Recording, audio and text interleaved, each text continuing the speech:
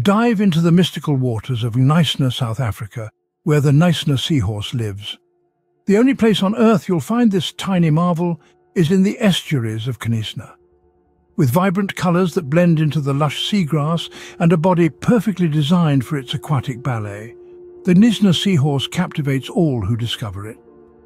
Notice its small stature, usually not larger than a teaspoon, and its iconic curled tail. It thrives in the calm waters of estuaries, feeding on microscopic prey with precise movements of its tiny snout.